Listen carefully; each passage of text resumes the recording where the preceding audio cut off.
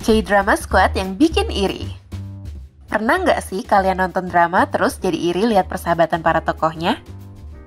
Kalau pernah, fan Korea bakal bikin kalian makin iri lagi dengan video yang satu ini nih. Tapi sebelum lanjut, jangan lupa untuk perhatiin pertanyaan di tengah video untuk dapat hadiah dari fan Korea ya.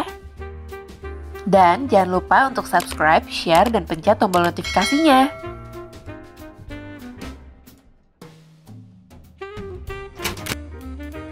Squad Captain Ri dalam Crash Landing on You Empat tentara Korea Utara yang jadi anak buah Kapten Ri ini sukses banget mencuri perhatian penonton karena keseruan dan keramaian yang mereka bawa tiap muncul. Selain kelakuannya yang kocak, adegan-adegan yang memperlihatkan persahabatan mereka dengan Kapten Ri dan Yun Seri juga makin bikin penonton pengen punya banyak teman kayak mereka. Anak-anak Kosbel Ipok di drama Hello My Twenties.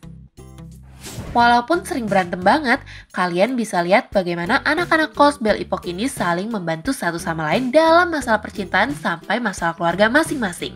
Pertanyaan pertama, Siapa pemain dalam drama ini yang juga merupakan personel dari Kara?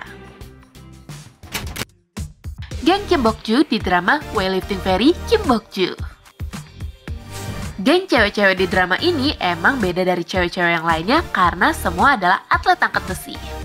Lucunya, walaupun sama-sama galak dan kuat, ketiga sahabat ini tetap seperti cewek-cewek lainnya yang hobi wisata kuliner, ngomongin orang, dan bisa berantem sampai nangis-nangisan.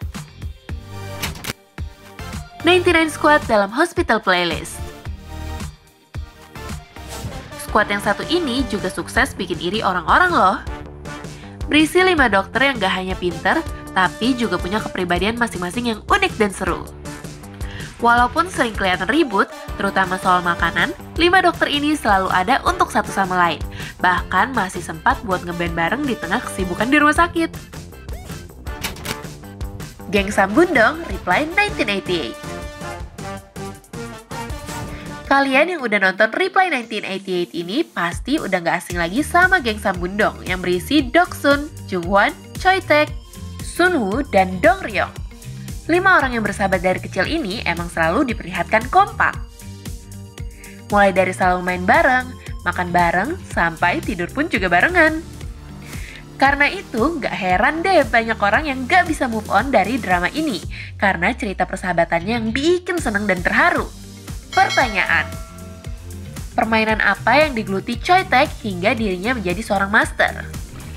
Itu tadi beberapa K-drama squad yang persahabatannya bisa bikin iri kalian. Selain mereka, ada lagi nggak nih yang kalian tahu? Tulis di kolom komentar ya. Dan jangan lupa ikut jawab pertanyaannya juga. Caranya, kalian bisa cek di description box di bawah ini. Terima kasih udah nonton dan nantikan video selanjutnya dari Fun Korea.